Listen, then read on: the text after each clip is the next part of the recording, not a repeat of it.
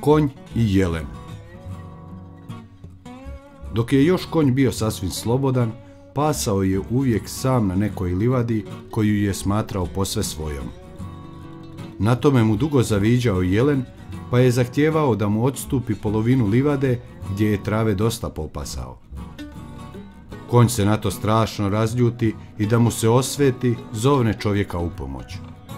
Ovaj mu obeća da će mu pomoći, ali samo onda ako se dade zauzdati i zajahati da Jelena može progoniti.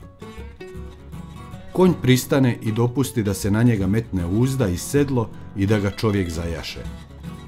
Ali tek što je upoznao njegova svojstva, odluči da ga pokori za sebe. Mjesto da jezdi za jelenom, tjerao ga je svojoj kući i nije ga više puštao na slobodu, nego ga upotrebljavao za vožnje, jahanje i oranje. Dosta puta osveta nepametno poduzeta za kaznu veliku bude samom osvetniku.